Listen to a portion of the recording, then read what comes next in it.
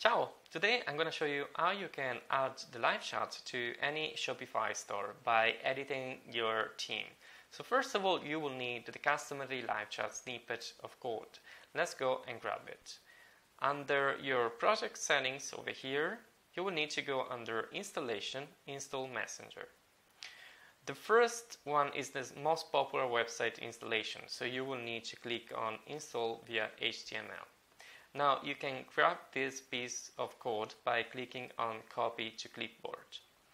Perfect. Now that you have got the code, you can go back to your online store um, themes and under your live theme, you can click on the actions and then edit code.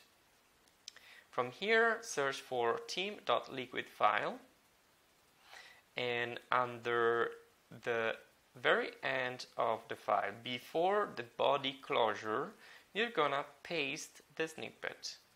Now, if you save it, let's preview the store.